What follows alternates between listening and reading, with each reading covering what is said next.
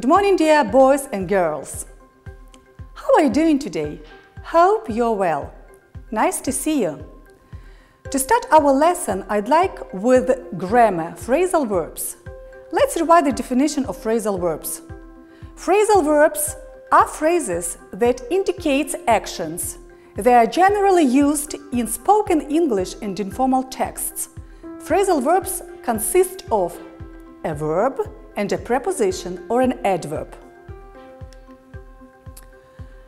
But now I would like you to learn new phrasal verbs. Please take a seat, have your spotlight books, open them on page 116 and repeat please after me. Give away – выдавать секрет, отдавать что-либо ненужное. Give up – прекращать пытаться, сдаться или сдаваться. Give out – раздавать. Give back – возвращать что-либо. Well, guys, your task is open your books on page 116, exercise 1, and we are going to fill in the gaps with the missing phrasal verbs. So, we have in brackets the synonyms of such phrasal verbs. Okay, try to guess. Who says each sentence a student or a teacher? The first one. Tony gave, yep, my secret and now the whole class knows. The synonym of this phrasal verb is reveal. The right answer, of course, is gave away. Let's read it together. Tony gave away my secret and now the whole class knows it. Second one. Don't give. Yep. Trying and your marks will improve. Synonym is stop trying. I know that you know. The right answer is give up. Сдаваться. Don't give up trying your marks will improve. Well done, guys. Next sentence. Diane, could you please give? Yep, the text. And as you have guessed, the right answer is give out. Okay, guys, and the next sentence is Sorry, I've forgotten to give you. Yep, your dictionary, and the synonym is return. The right answer is back. Sorry, I've forgotten to give you back your dictionary. And the last one, I've given, yep, all my textbooks from last year. And the synonym is give something because you no longer want it. And the right answer is given away. Let's read it all together. I've given away all my textbooks from last year. And here you can watch at the blackboard and see the answers. Okay, the first sentence Tony gave away my secret and now the whole class knows it, says a student. Next one, don't give up, trying and your marks will improve. The teacher says this phrase. Next, Diane, could you please give out the text? And also teacher asks these questions. Next, sorry, I've forgotten to give you back your dictionary. Student says this phrase. And the last one. I've given away all my textbook from last year and we can see that student says this phrase. So my dear boys and girls, I'd like to, to talk about very serious topic, bullying. Do you know what it means? The theme of our lesson is bullying. The words we need for our lessons are Let's repeat after me. Bully – задирать, издеваться. Distribute – распределять, распространять. Hurt – обижать, делать больно. Mean – скупой, злой. Mood – настроение. Temper – нрав, характер. And the last one, unacceptable. Неприемлемый, недоступный. Phrases we need for our lessons are a curse or bless – проклятие или благо. Care for – любить.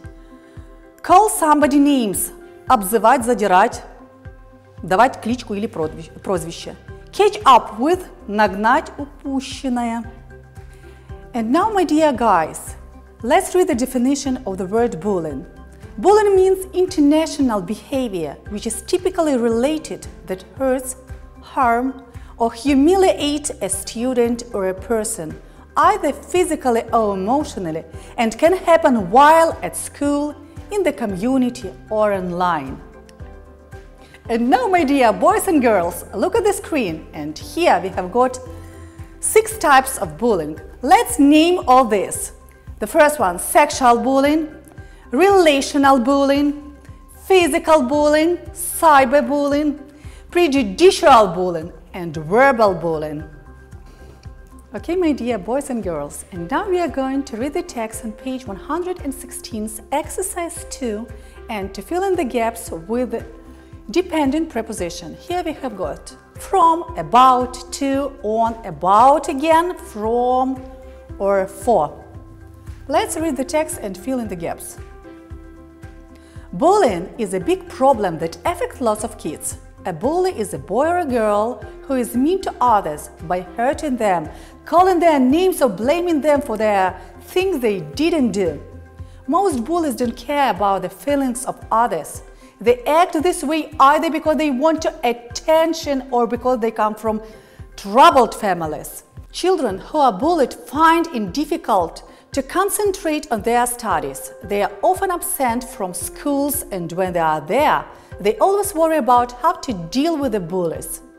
Bullies are unacceptable and should not be tolerated. If you see it, report it. Children, let's read together missing dependent preposition. The first one, mean to, blaming for, care about, come from, concentrate on, absent from, and worry about. Okay, my dear guys, your home task will be to learn the new vocabulary, new phrases and new words, and to answer the question to the text. The first is, what is the author's opinion? Do you agree with this opinion or not and why? What is your attitude to this problem? Have you ever been in such situation? And the last one, how did you solve this problem? I wish you good luck. Be healthy and in a good mood. Bye, my dear.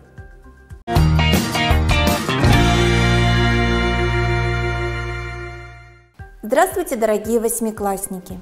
Сегодня у нас с вами очень важная тема. Тема очень животрепещущая. И начинаем мы с вами наш урок очень необычно, сразу с домашнего задания. Посмотрите, пожалуйста, внимательно – Дома, пожалуйста, почитайте параграф 21, изучите понятия, прочитайте вопросы, которые находятся после параграфа. И, конечно, я предлагаю вам для себя составить таблицу, в которой указать плюсы и минусы безработицы. Я думаю, у вас все получится. А мы с вами начинаем. Каждый в жизни о чем-то мечтает – Каждый чего-то хочет, но как же всего достичь? И мне мама всегда говорила, для того, чтобы у тебя что-то было, нужно трудиться. Труд. Что же это такое? Посмотрите, пожалуйста, наша Конституция, которая была принята 12 декабря 1993 года, в статье 37 говорит нам следующее. Труд свободен Каждый имеет право свободно распоряжаться своими способностями. Замечательно. Принудительный труд запрещен. Но если вы спросите у своих бабушек и дедушек, как же было до 1991 года, они скажут, тогда работали все, не было безработных. что же это такое? А оказывается, экономические системы предусматривают разные подходы к труду. Если мы возьмем с вами командную экономику, посмотрите, пожалуйста, занятость была 100%. Очень часто государства имели даже убыточные предприятия, но государство не закрывало предприятия, потому что понимало, люди останутся без работы. Если мы посмотрим на сегодняшнюю экономическую систему, она называется у нас рыночная. При рыночной экономической системе и работодатель, и работник, они все свободны. Работодатель хочет – нанимает, хочет – не нанимает на работу. И работник хочет – работает, а хочет – не работает. И поэтому мы с вами видим, что, конечно, возникает такое новое понятие, как безработица. Сложный вопрос, но мы попытаемся разобраться, что же это такое. Если вы пишете, запишите. Безработица – это положение в экономике, когда часть трудоспособного населения, желающего трудиться, не может найти себе работу. Посмотрите, пожалуйста, ищу работу. Вот перед вами наш центр занятости, который расположен у нас в Симферополе. И важно понимать, что все население страны делится на две категории – трудоспособные граждане и нетрудоспособные. Посмотрите, пожалуйста, трудоспособные бывают занятые, то есть те, которые имеют да, работу, а бывают, посмотрите, пожалуйста, безработные, то есть трудоспособные, не имеющие работу, но стремящиеся ее найти. А также нетрудоспособные. Запомните, пожалуйста, что нетрудоспособными это дети до 16 лет называются, это пенсионеры и это инвалиды.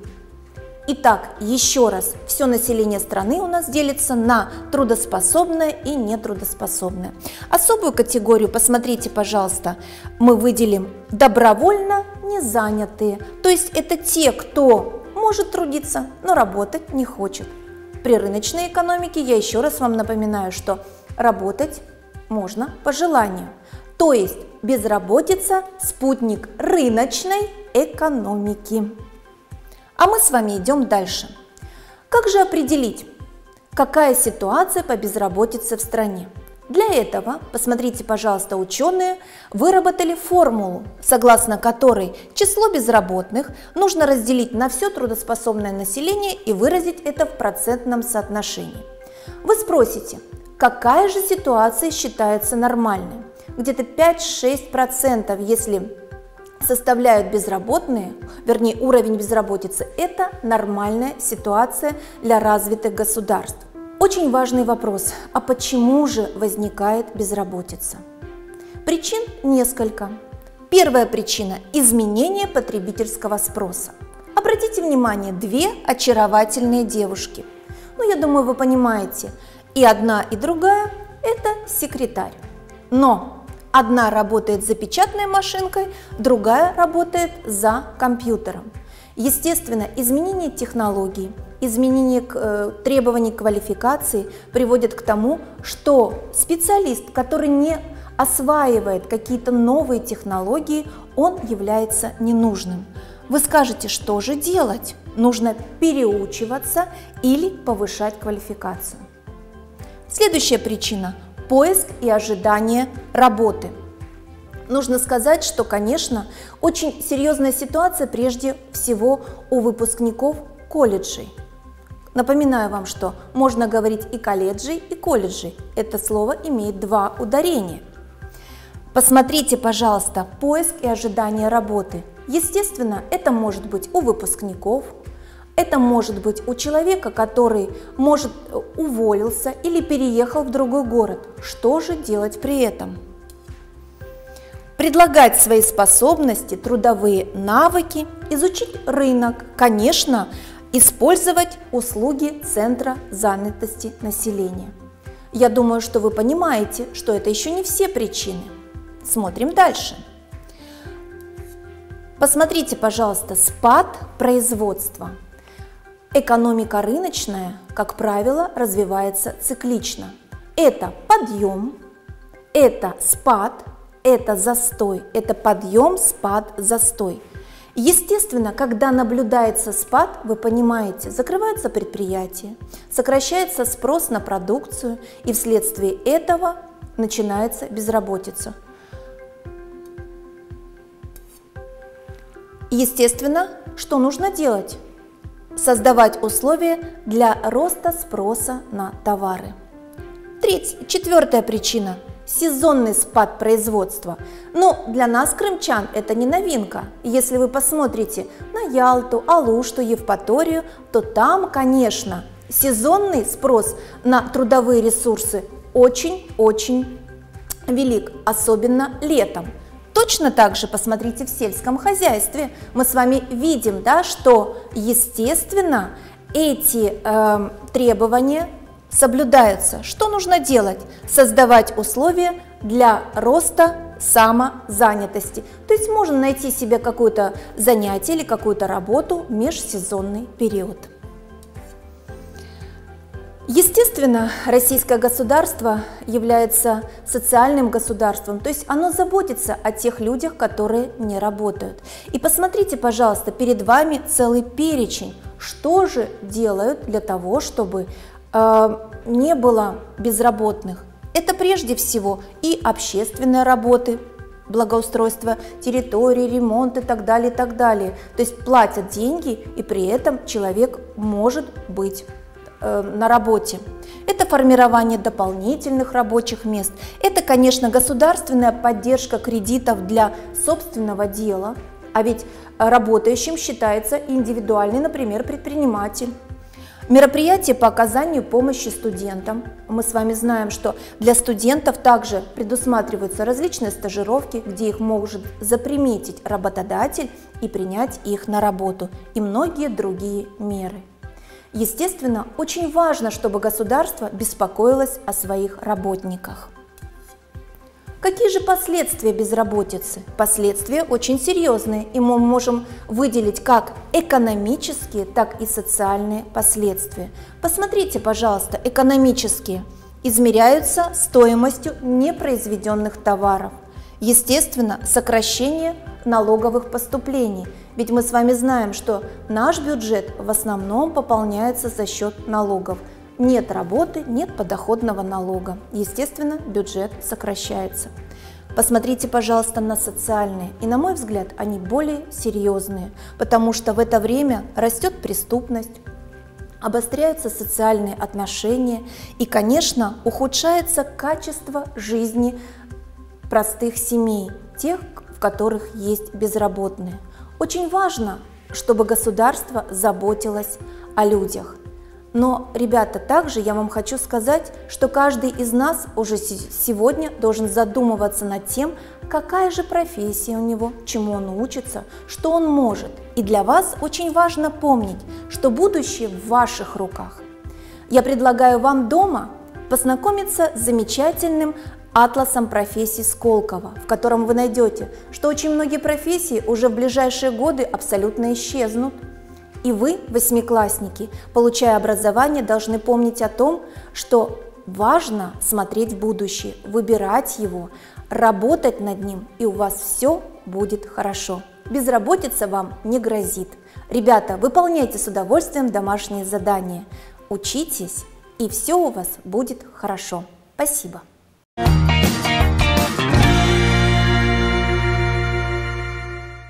Здравствуйте, дорогие восьмиклассники!